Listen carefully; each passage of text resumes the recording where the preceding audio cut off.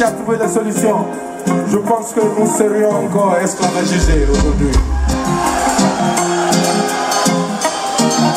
Si nos parents n'avaient pas combattu la colonisation, je pense que nous serions encore colonisés aujourd'hui. Alors si nous voulons une autre Afrique pour nos enfants et nos petits-enfants et leurs enfants, alors la clé se trouve dans notre main. L'esclavage. Est-ce que vous voulez chanter pour l'Afrique ici ce soir?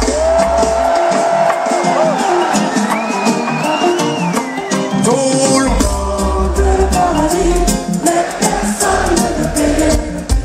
Nous les Africains, nous voulons tous le paradis. Tout le monde veut le paradis, mais personne ne veut payer le prix. Nous les Africains, nous